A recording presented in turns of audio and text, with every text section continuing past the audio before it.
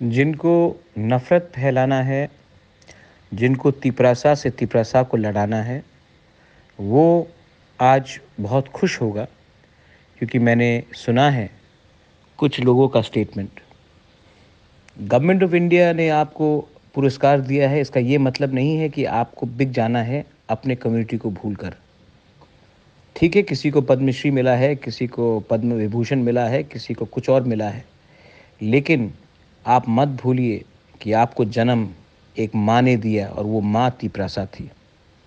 आपको एक अस्तित्व हमारे जाति से मिला है। आपने जो भी कहा है, मैंने सुना है।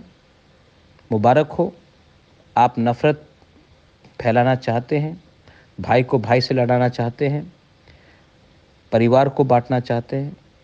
मैं 2024 में प्यार पॉजिटिविटी और थानसा को स्प्रेड करूँगा। आप कीजिए जो आपको करना है।